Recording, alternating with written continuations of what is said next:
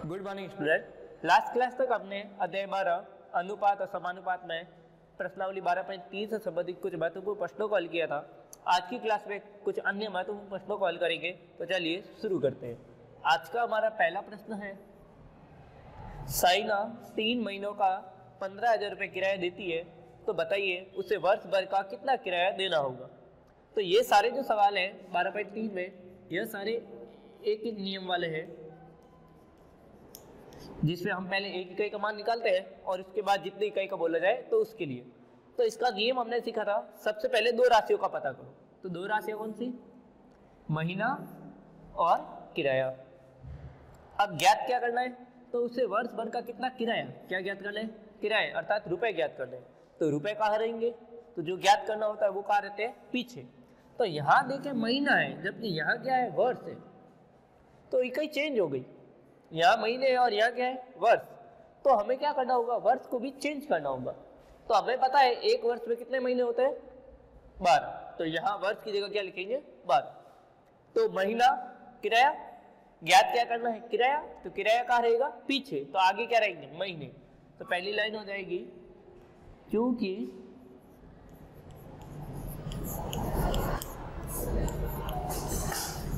तीन महीनों का किराया। बराबर पंद्रह हज़ार रुपए। यहाँ हम देखें, किराया पीछे है और महीना आगे। किराया पीछे क्यों है? क्योंकि हमको किराया ज्ञात करना है। दूसरी लाइन में, इसलिए, और यहाँ हमेशा एक आएगा, पूरी लाइन से इसलिए एक महीने का किराया बराबर, यहाँ जो लिखा था वही आएगा। और यह जो चीज़ है, यह इसके बट्टे में चली जाएगी। क्यों जाएगी? क्योंकि हमें पता है कि जब एक का मान निकालना हो तो भाग देते हैं। और तीसरी लाइन हमें ज्ञात करना है कितने का? वर्ष भर का। तो वर्ष में महीने कितने होते हैं? बारह। बारह महीनों का किराया। यहाँ बारह क्यों आया? तो हम लिख लेंगे, क्योंकि एक वर्ष बराबर बारह महीने होते हैं। तो बारह महीने का किराया क्या होगा? यह जो लिखा हुआ था, वो तो रहेगा ही। और गुणा में आ जाता है अगली बार जो यहाँ लिखा होता है। अब हम इसको काट के सरल करके आंसर प्राप्त कर लेंगे। तो तीन बारह से कट जाएँगे, चार बार।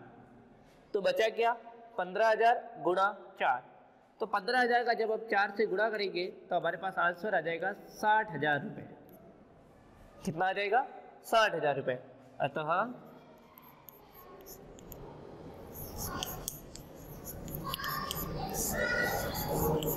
साइना को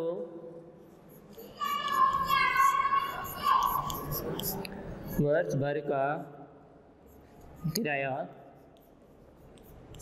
कितना देना होगा? रुपए, साठ हज़ार देने होंगे।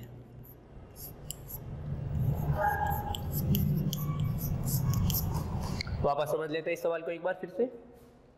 साइना तीन महीनों का किराया पंद्रह हज़ार रुपये देती है तो उसे वर्ष भर का कितना किराया देना होगा? सवालों को हम एक एक नियम से करेंगे। तो दो राशियाँ हैं, एक है महीने और एक है किराया। हमें ज्ञात क्या करना है? तो यहाँ लिखा है किराया ज्ञात कीजिए। कितना किराया देना है? तो किराया हमें ज्ञात करना है। तो जो ज्ञात करना है, वो कहाँ रहता है? पीछे। इसका मतलब आगे क्या रहेगी? महीने। तो तीन महीनों का किराया बराबर पंद्रह हज़ार। अब एक महीने का निकालना है तो पंद्रह हज़ार तो वही रहेंगे। यह वाली राशि यहाँ बट्टे में आ जाएगी। अब पूछा कितना? वर्ष भर का। जबकि आगे क्या है? महीने। तो वर्ष को भी महीनों में बदलो। तो हमें पता है, एक वर्ष में बारह महीने होते हैं। तो यहाँ बारह महीने का किराया बराबर, यहाँ गुणा में आ जाएगा बारह। यह तो वापस वही रहेगा, और गुणा में आ जाएँगे बारह। अब तीन को बारह से काट देंगे चार बार, और पंद्रह हज़ार का चार से गुणा करेंगे साठ हज़ार। तो इस प्रकार उसको साठ हज़ार का किराया देना होगा। बढ़ते हैं अगले प्रश्न की तरफ़।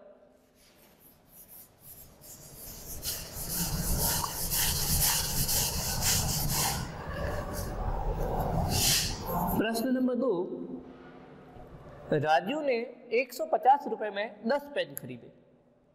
मनीष ने चौरासी रुपए में सात पेन खरीदे। बताइए, किसने पेन सस्ते में खरीदे? राजू है जिसने एक सौ पचास रुपए में दस पेन खरीदे। और मनीष है उसने चौरासी में सात पेन खरीदे। तो हमें बता रहा है, किसने सस्ते पेन खरीदे? तो यहाँ जो पेन उसने खरीदे, वो दस खरीदे। और यहाँ कितने खरीदे? सात। तो अनुपात में हमने सीखा था इक्कीस समान होनी चाहिए। तो हम क्या करेंगे? राजू ने एक पेन कितने में खरीदा? वो निकाल देंगे। मनीष ने एक पेन कितने में खरीदा? वो निकाल देंगे। और फिर बता देंगे कितने सस्ता खरीदा। तो राजू ने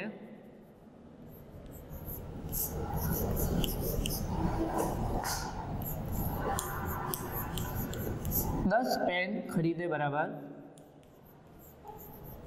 राजू ने दस पेन कितने में खरीदे हैं? एक सौ पचास रुपये इसलिए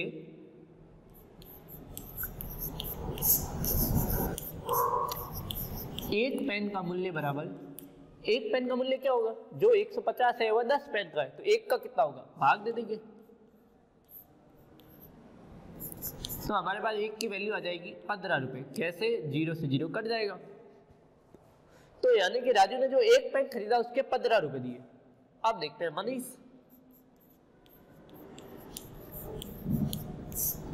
मनीष ने सात पेन खरीदे।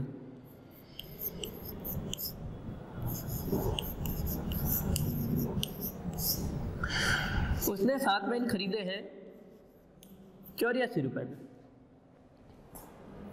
इसलिए एक पेन का मूल्य बराबर। क्या करेंगे? इस बार चौरासी में भाग दे देंगे सात का। चौरासी में जब हम सात का भाग देंगे तो हमारे पास रुपए आ जाएँगे बारह। यानी मनीष ने एक पेन के कितने रुपए दिए? बारह।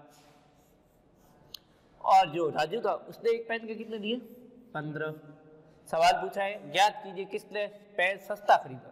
तो सस्ता किसने खरीदा? मनीष या राजू? मनीष ने। तो अतः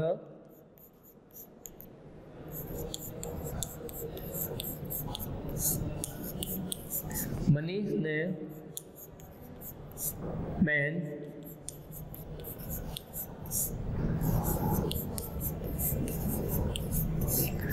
सस्ते खरीदी। वापस समझ लेते हैं। राजू ने 150 रुपए के 10 पेन खरीदे। मनीष ने चौरासी रुपए के सात पेन खरीदे। तो बताओ किसने सस्ता खरीदा? सस्ता कौन खरीदेगा? जिसने एक वस्तु का मूल्य कम दिया तो राजू ने 10 पेन के रुपए दिए 150 तो एक का कितना दिया? 10 का भाग दे देंगे तो आगे रुपए 15 मनीष ने सात पेन के दिए चौरासी। तो एक का कितना दिया? भाग दे देंगे तो एक की वैल्यू आ जाएगी बारह। तो अतः मनीष ने पेन सस्ते खरीदे। बढ़ते हैं अगले प्रश्न की तरफ़।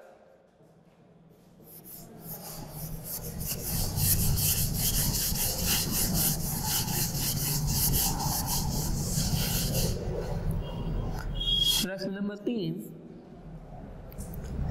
चार दर्जन केलों का मूल्य एक सौ अस्सी रुपए है तो नब्बे रुपए में कितने दर्जन केले या कितने केले खरीदे जा सकते हैं? तो दो राशियाँ, एक तो दर्जन, केले और एक है मूल्य। ज्ञात क्या करना है? केले। तो केले कहा रहेंगे? पीछे। लेके अगर सवाल को पढ़े तो केले आगे है जबकि मूल्य पीछे। तो जब ऐसे कंडीशन हो, जो चीज़ हमें पीछे चाहिए, वह अगर आगे हो जाए तो लाइन को उल्टा पड़ेगी अर्थात पीछे से चालू करेंगे। एक सौ अस्सी रुपए में केले आते हैं बराबर। लेकिन यहाँ हमें केले ज्ञात करने हैं, और यहाँ है दर्जन तो हमें पता है, एक दर्जन में कितनी वस्तुएँ होती है? बारह। तो चार दर्जन में कितनी होगी? तो पहले हम वस्तुएँ निकाल देते हैं।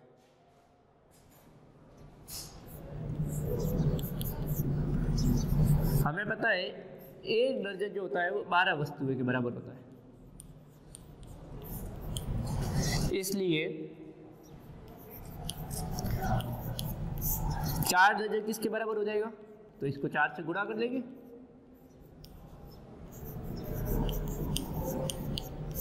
यानी अड़तालीस वस्तुएँ यानी कि अड़तालीस केलों का मूल्य एक सौ अस्सी रुपए है तो नब्बे रुपए में कितने केले आएँगे? तो अब हमें केले ज्ञात करना है तो केले जो ज्ञात करते हैं, वो रहता है पीछे। लेकिन यहाँ आगे है तो इस लाइन को हम उल्टा पढ़ेंगे।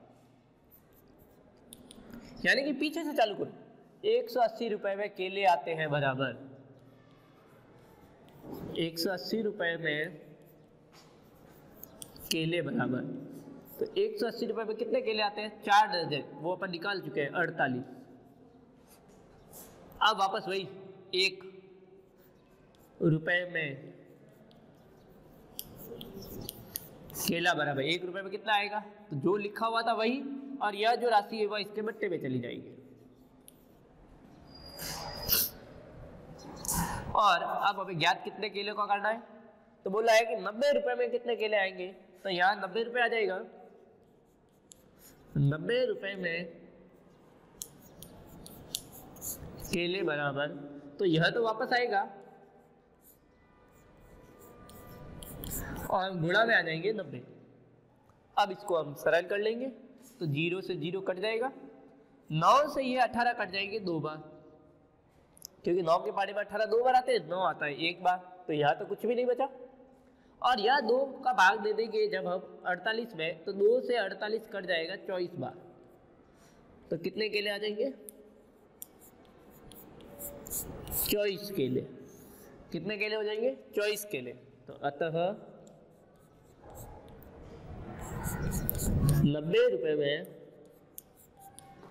कुल चौबीस केले खरीदे जा सकते हैं।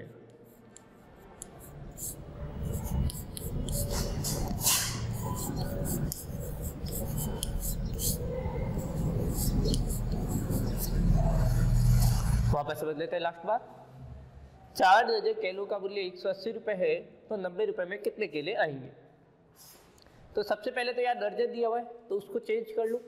एक दर्जन बारह वस्तुओं के बराबर होता है तो चार दर्जन कितनी वस्तुओं के बराबर होगा? अड़तालीस वस्तुओं के। अब देखो ज्ञात क्या करना है? केले। तो केले कहाँ रहेंगे? पीछे। अगर सवाल को पढ़े तो केले आगे हैं और मूल्य पीछे। जबकि हमको ये पीछे चाहिए और ये आगे चाहिए। तो ये कब होगा? अगर लाइन को हम उल्टा पढ़ेंगे, यहाँ से चालू करें तो मूल्य आगे हो जाएगा और केले पीछे हो जाएगी। तो लाइन को उल्टा पढ़ना। एक सौ अस्सी रुपए में केले आते हैं बराबर अड़तालीस। फिर वही एक रुपए में केला बराबर अड़तालीस और वह उसके चला जाएगा भाग में।